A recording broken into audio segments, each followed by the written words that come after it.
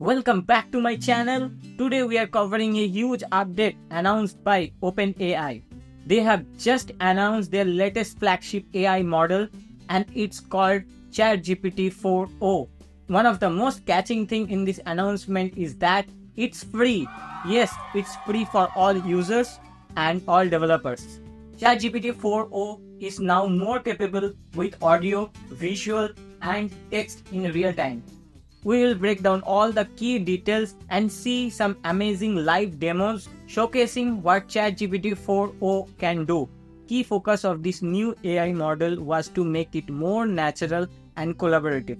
Previous models like ChatGPT 4, ChatGPT 3.5 used to require separate components for transcriptions, for text to speech, and language understanding. This model allows real time conversational voice interaction without any latency. The efficiency of GPT-4o is huge. It's 50% cheaper than GPT-4 in terms of computational power. GPT-4o can handle 5x more inputs from user than its predecessor, means almost 5 times faster. So let's see what are the new features that ChatGPT 4o is offering. There are 5 major highlights. Number 1. Real-time voice conversations. You can do natural conversations with ChatGPT 4o with your voice. You can interrupt it. It can now react to emotions and tones, and even it can tell you jokes and stories in different voices and tones. Let's see this in action from OpenAI's live demo. Oh, a bedtime story about robots and love?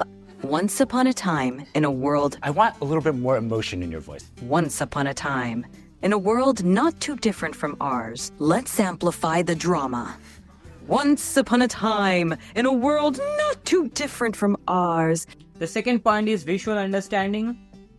GPT-4 can now see documents, photos, charts and any visual data and can analyze it and can answer any questions related to those visuals.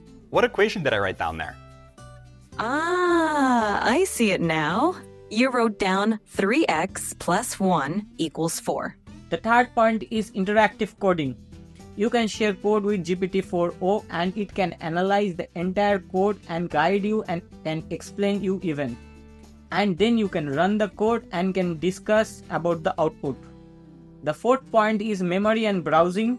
GPT-4o have context memory, so it can understand conversations over time and it can even search the internet and can bring real-time informations. The fifth point is free for all.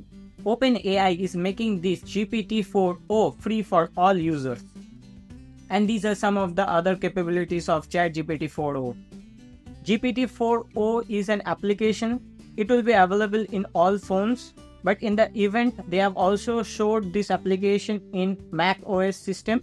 I'm not sure it will be available in Windows or not. The application looks like this can share your screen and based on the content that is available on the screen it can detect and analyze and you can start asking questions and you can start your conversation. Okay ChatGPT, I'm sharing with you the plot now. I'm wondering if you can give me a really brief one-sentence overview of what you see. Plot displays smoothed average, minimum, and maximum temperatures throughout 2000. With this announcement, OpenAI have really raised its bar.